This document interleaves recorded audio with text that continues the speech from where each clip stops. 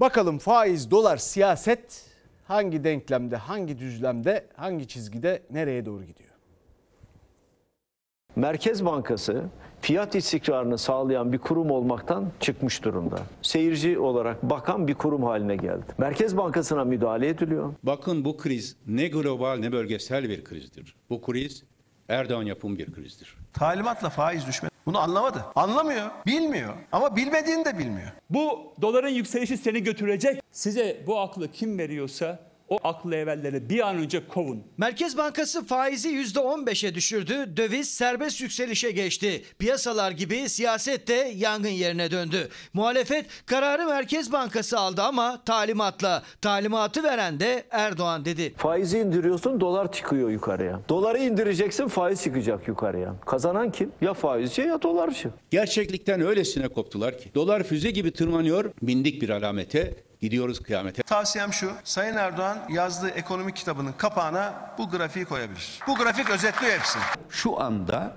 dövizle para biriktirmeyen herkes felç. Dövize ihtiyacı olan bütün sanayici felç. Muhalefetten faiz kararı sonrası ortak ses yükseldi. Kaybeden Türkiye, kazanan faizciler, dövizciler. Merkez Bankası'nın faiz indirmesi elinde dolar tutanlara yarıyor. Bankada doları olanlara yarıyor. Yani bizim beşli çete olarak tanımladığımız kişilere yarıyor. Köprü geçişine daha fazla para verilecek. Havaalanlarına daha fazla para verecek.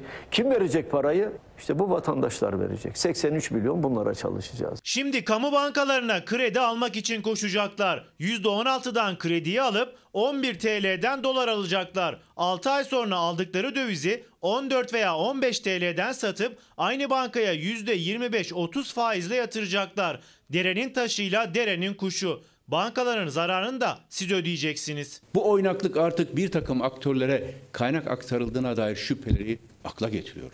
Dövizin yükselişi kadar bu yükselişle birlikte değeri gün gün düşen Türk lirasına da dikkat çekti muhalefet. Ya bir Amerikan doları 11 Türk lirasını geçti ya. Milli paramız tarihin en değersiz noktasında. Paramızı da itibarımıza beş paralık ettiler. Şimdi siz doları 11 liradan tekrar 9 liraya nasıl indireceksiniz? Sizin hastalıklı yapınız var. Şu anda Türk ekonomisi komada. Eleştiriler sadece sözle sınırlı kalmadı muhalefet cephesinde. Memleket Partisi ve Halkın Kurtuluşu Partisi, Merkez Bankası Başkanı ve Para Politikası Kurulu üyeleri hakkında suç duyurusunda bulundu. Kanunun kendilerine verdiği görevleri yerine getirmeyerek Türk lirasında değer kaybına ve dolayısıyla milletin ve memleketin fakirleşmesine sebep oldukları için suç duyurusunda bulunacağız.